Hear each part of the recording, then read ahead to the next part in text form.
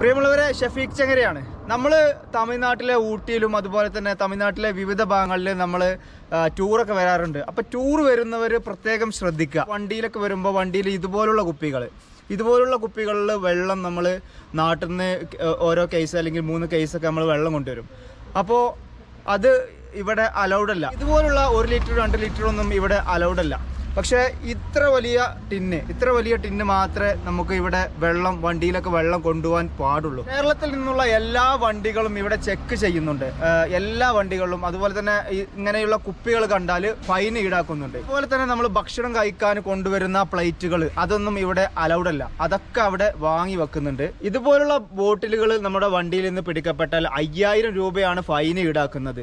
ഈ കുപ്പി പോലുള്ള പ്ലാസ്റ്റിക് സാധനങ്ങൾ നിരോധിക്കുന്നതിലൂടെ തമിഴ്നാട് ഒരുപാട് നല്ല കാര്യങ്ങൾ ചെയ്യുന്നുണ്ട്.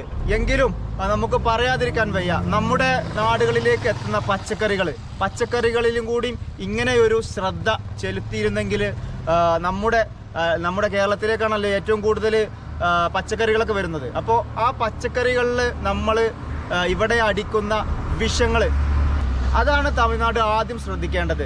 ഇതുപോലുള്ള പ്ലാസ്റ്റിക് നിരോധിക്കുന്നതിന് മുമ്പ് അതാണ് ആദ്യം തമിഴ്നാട് സർക്കാർ ചെയ്യേണ്ടത്.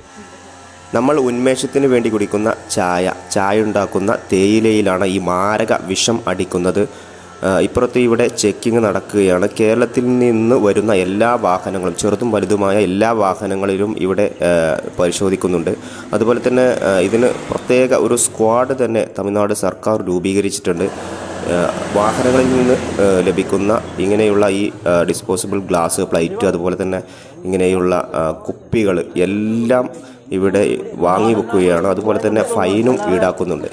കുപ്പിയിലെ വെള്ളം കുടിച്ച് കുപ്പി ഞങ്ങൾ നാട്ടിലേക്ക് കൊണ്ടുപോകാം എന്ന് പറഞ്ഞിട്ടൊന്നും കാര്യമില്ല. കുപ്പി എന്തായാലും കുപ്പി കണ്ടാൽ അവർ പൊക്കും. അയ്യായിരം രൂപ വരെയാണ് ഓരോ വാഹനത്തിനനുസരിച്ച് അവർ ഫൈന് ഈടാക്കുന്നത്. ഏതായാലും പിടിച്ച കുപ്പിയിലെ വെള്ളം കിട്ടില്ല. അപ്പോൾ ചില വിദ്വാൻമാർ ഇതാ കൈ കഴുകാത്തവർ വരെ സോപ്പിട്ട് വരെ കൈ കഴുകി അങ്ങനെ വെള്ളം തീർക്കുകയാണ്. ഒരുപാട് പേര് കുടിക്കുന്നു. അങ്ങനെയൊക്കെയാണ് വെള്ളം തീർക്കുന്നത്. ഇനി വെള്ളം കിട്ടില്ല എന്നുള്ള ഒരു തിരിച്ചറിവിൽ എല്ലാവരും വെള്ളം തീർത്ത് അവിടെ തന്നെ കൊടുക്കുകയാണ്.